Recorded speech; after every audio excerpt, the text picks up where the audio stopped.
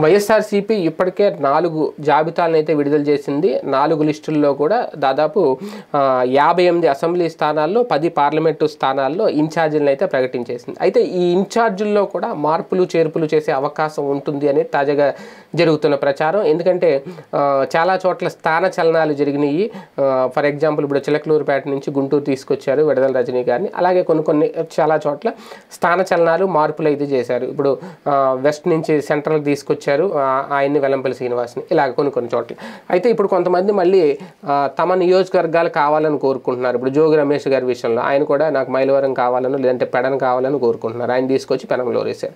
So ఇటువంటి నేపథ్యంలో మళ్ళీ స్థాన చలనాలు ఉంటాయి.